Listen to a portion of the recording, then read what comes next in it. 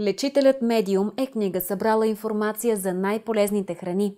Антони Уилям е лечител медиум и посвещава живота си на това да помага на хората за това, което са приели за нелечимо. На първо място ви съветва – сбогувайте се със страха.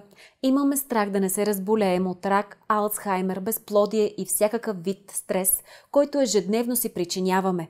Повечето от нас не знаят защо изпитват симптоми като умора, увеличаване на теглото, болки, замъгленост, кожни проблеми и световъртеж, а често лекарите определят това като нормално или нещо временно, а напротив, то може да е алармата на нашия организъм, че нещо не е наред.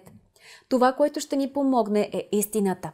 Кои са храните за душата, кои храни са жизнено важни за организма и кои са лечебните чудодейни билки.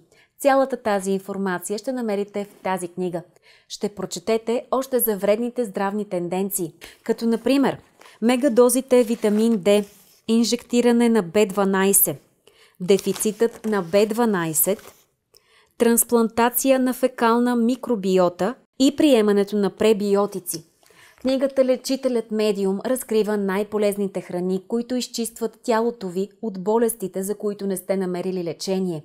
И също, тук ще намерите лечение за много проблеми, при които някои специалисти първосигнално препоръчват операция и не винаги това е правилното решение.